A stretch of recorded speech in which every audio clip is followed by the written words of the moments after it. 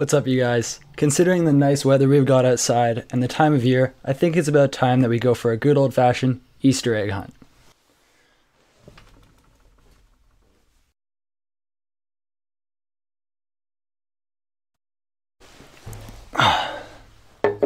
oh, you thought we were gonna go outside? Not a chance. I know it's nice outside, but I'm a Linux user. I'm gonna spend it the only way I know how, and that is in my text editor.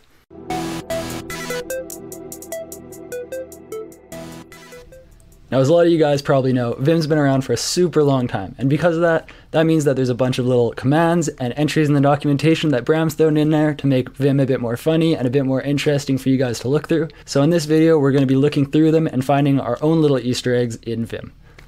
Now, some of you may be NeoVim users, so a few of these may not be there for you, but if those of you are using Vim, then all of these little tidbits will be in your version of Vim.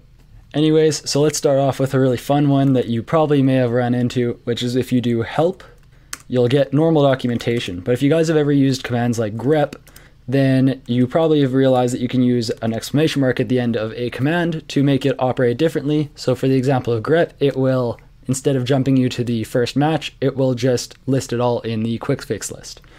Now, if you do this with help, it will tell you, don't panic, which I appreciate because that means that Bram is worried about my mental health, and I appreciate that. Thank you, Bram.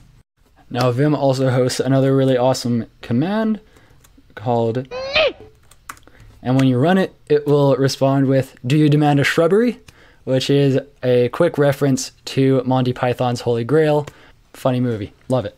Now, if you take a little peek at the man page for bar, you'll see that at the end it has this little bit of text right here, which is French, saying Ceci ne pas un pipe. For those of you guys that are French, I'm sorry, I tried my best, uh, which is a little reference to this painting made by this artist. Uh, didn't remember his name because I had to put all my effort into making sure that I tried my best to pronounce that right because I know someone in the comments is still going to tell me I'm wrong, but it's the thought that counts.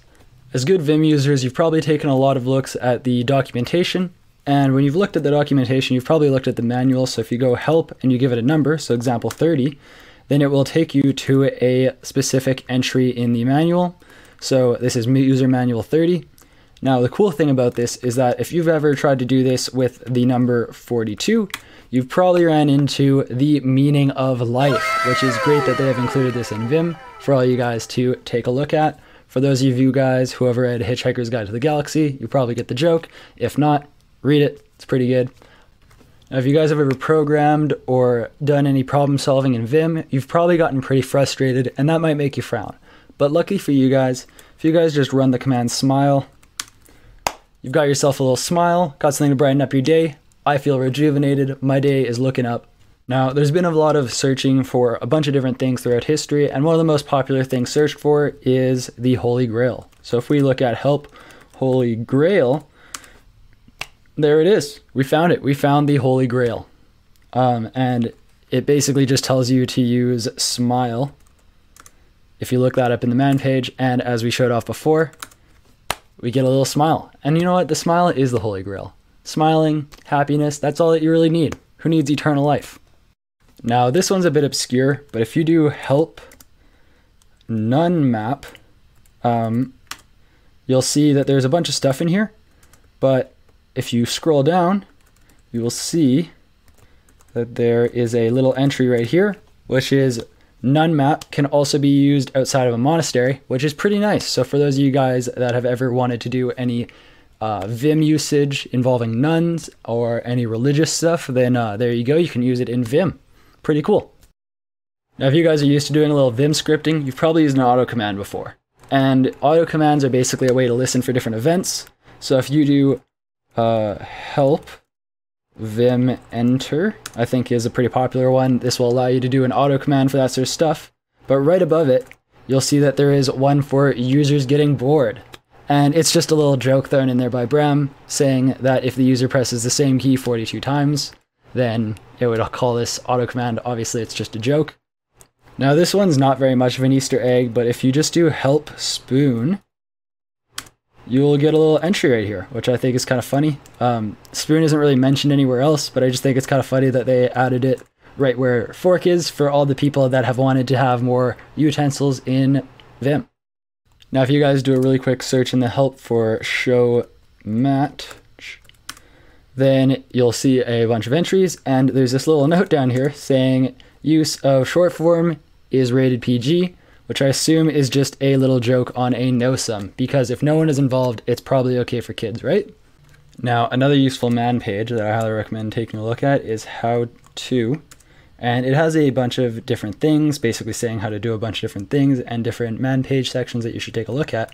But if we scroll down a bit further, we will see a little tidbit on future things to be added to Vim, probably, I'm assuming, in Vim 9, which is you can't yet do dishes using Vim. So keep an eye out for that. I'm expecting Bram to add that in in Vim 9 as one of its many changes, including the Vim skip changes and such. Now for our final one, this isn't really a Easter egg as much as it is a plugin made by Bram, but considering that it is under the Vim user on GitHub, I'm gonna just go ahead and count it because I think it's in the spirit of this video, which is basically a plugin that he made that is pretty funny, that is basically just made to show off some of Vim 8.2's cool features. Now I'm to go ahead and save you the time of showing you how to install the plugin and just go ahead and show you how it works. All right, and once you have the plugin installed, you can just open up Vim, and then once you've pack added or whatever you need to do to install it and set it up, you can just run the command kill, kill, kill, and then, oh, we need to make the terminal a bit bigger um, just because this takes up a lot of space.